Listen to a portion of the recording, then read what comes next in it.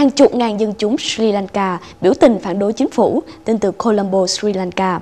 Hôm thứ Tư ngày 6 tháng 2, hàng chục ngàn dân chúng tại thủ đô Colombo biểu tình phản đối chính quyền đã tạo cơ hội cho giới đầu tư thương mại ngoại quốc xâm chiếm thị trường kinh tế quốc gia. Dân chúng tuần hành trong sự giận dữ, tiếp tục hò hét phản đối chính phủ đương nhiệm Sri Lanka, đã sửa đổi và điều chỉnh bản hiến pháp cho phép người ngoại quốc có thể đầu tư và làm ăn tại Sri Lanka. Chủ tịch công đoàn Colombo, ông Lankantha, trả lời tới thông tướng xã địa phương rằng Chính phủ đã đơn phương thay đổi bộ luật thương mại, bất chấp sự chống đối từ các công đoàn, sự cho phép các tư nhân ngoại quốc hiện diện tại Sri Lanka, chắc chắn sẽ ảnh hưởng tới quyền lợi của người dân. Chính phủ đã không bảo vệ công ăn việc làm của dân chúng, ngược lại tạo thêm sự xáo trộn khi cho phép doanh nhân ngoại quốc hiện diện trong hệ thống kinh tế quốc gia.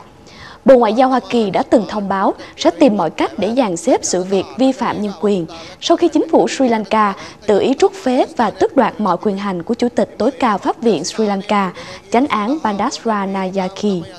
Bộ Ngoại giao Canada cùng với Hoa Kỳ đồng lên tiếng sự việc trên và một cuộc họp thảo vào tháng 3 tại thủ đô Geneva, quốc gia Thụy Sĩ, sẽ bàn thảo về sự việc này. Chánh án Bandasra Nayaki đã chống đối và không cho phép thi hành các đạo luật giới đầu tư ngoại quốc trực tiếp hiện diện tại Sri Lanka. Trong chính sách tự do mậu dịch sẽ ảnh hưởng tới giới thương mại trong nước